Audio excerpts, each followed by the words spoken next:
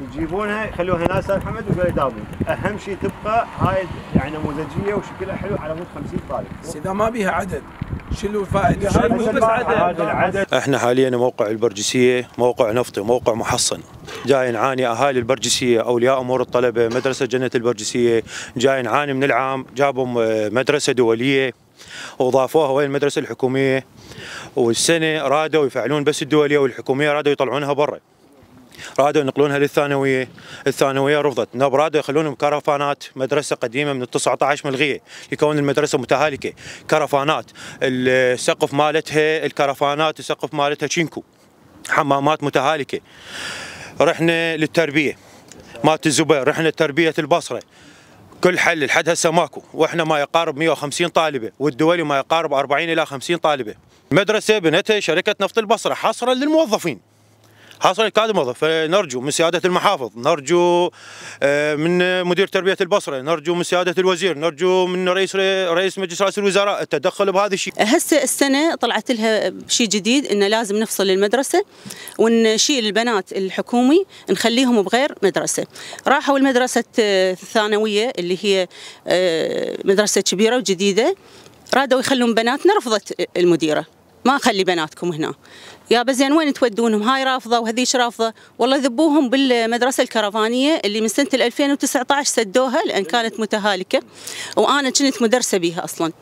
ومرة من المرات يعني كانت عندنا مدرسة طاحت رجلها بال بالأرضية مال الكرفان ورادت تنكسر لأنها رايحة منتهيه ماكلتها الأرضة. يعني يقبلون يأخذون بناتنا أطفال من صف أول إلى صف سادس يخلونهم بهذا المكان وإحنا منطقة صحراوية وتدرون الحيايه والعقارب تطلع بيها. هسه صارنا يومين يريد ينقلونهم كرفانات وإحنا نعرض هذا الشيء بالنسبة لنا أما يشوفون حل لهذا الموضوع أما المدرسة هاي ما يداوم دولي بيها. يعني حدنا هذا بعد وصل حدها. يعني إحنا بالنسبة لنا إحنا أنا ما أتحمل مسؤولية انقل بنتي بالزبير وبالزبير جاي يداوم هنا ها؟ على مود شنو؟ والله دولي 60 طالب. إحنا العدد الأكثر إن إحنا حكومي وإحنا من قعدنا بهاي المنطقة لهذا اليوم هي مدرسة حكومية. يعني مدرسة هي أساسا للسكن الموظفين يعني بنتها النفط. حي السكن مال البرجسيه نعم للسكن مال البرجسيه يعني المدرسة مو التربية بانيتها بانيتها النفط. يعني المفروض آه، تبقى هاي المدرسة حكومية على أساس تحول الدولية مثلا. إحنا من 11 سنة هنا قاعدين 12 سنة. هاي المدرسة انبنت لهاي المنطقة النفطية بنتها شركة النفط. هسه تفاجئنا قبل ثلاث أيام نقل الطالبات. تحول المدرسة إلى دولي. زين الدولي ما بيها 60 70 طالب أو 50 150 راح تنقلهم يعني وين توديهم؟ ذيك المدرسة كلش تعبانة. كرفانات. زين جاي شتاء أمطار كهرباء طالب من يتحمل مسؤوليتي كنت تعبانة كلش يعني الصحيات تعبانة. ذيك المدرسة رفضت هاي رفضت يعني وين نوديهم إحنا؟ راح يتم نقل 150 طالبة على مود 50 طالب تحت حجة إنه أكو عقد آه، يخص المدرسة الدولية. وهذا التجمع إحنا رافضين. هاي الحالة. لأن أطفالنا راح يتبهدلون وماكو مكان صحيح يقعدون به.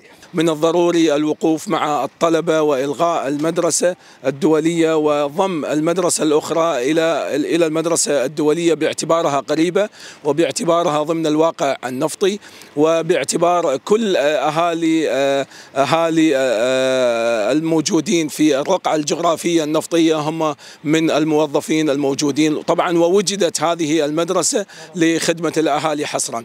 نعم طالبنا مديرية تربية البصرة بإلغاء هذا الأمر وإن شاء الله تم تحويل الكتاب الخاص بالسيد النائب إلى قسم تربية الزبير وجاري العمل. على ذلك إن شاء الله يعني خلال اليومين القادمين سيتم تحويل المدرسة. راح تبقى على وضعيتها إن شاء الله تبقى على وضعيتها ما أعتقد أكو مشكلة في مدرسة البرجسية لأن هناك المدرسة البرجسية تم رفع درجتها إلى مدرسة دولية العام الماضي ومدرسة مستقرة. اللي صار السنة أكو طالبات أو تلميذات يعني استقطبتهن المدرسة على المستوى الدولي. وكذلك طالبات لم يسعفن الحظ أن يدخلن على المستوى الدولي فبقن على المستوى الحكومي. هنا صارت الأعداد 150 على مستوى الدولي و160 تلميذة على المستوى الحكومي. البناية تسع لثمان صفوف فقط. فلا بد أن نستحدث مدرسة. وبالفعل الإخوان المشرفين تم استحداث مدرسة حكومية في هذه المنطقة. زرنا المنطقة يوم الأحد الماضي أنا ونائب المدير العام لإيجاد مكان يليق ببناتنا للدوام فقط لدراسة المكان اللي يليق بهم العوائل لا يقبلون أن يكون دوامهم عصري يفضلون الدوام الصباحي كونهم أبناء موظفين. فاقترحوا الإخوان المشرفين تذويب الأول ابتدائي إلى الحد الرابع في مدرسة الإبداع. اللي بجانبها. بجانبها ما تبعد أمتار واستقطاب جميع التلميذات في هذه المدرسة وأصبحت مدرسة مختلطة. ويبقى الخامس صف الخامس والسادس في مدرسة جنة البرجسية. أي مشكلة ماكو؟ وأي تعارض للدوام إحنا ما نقبل به وأهم شيء إحنا خدمتنا لأبنائنا التلاميذ وأن يكون المكان لائق وبيئة تعليمية إن شاء الله صالحة. نفس الوقت ما راح ينقلون الكرفاني ولا ينقلون الكرفاني راح راح يداومون في بناية الإبداع من ضمن مدرسة الإبداع وهم أشقاهم هم نفسهم في مدرسة الإبداع.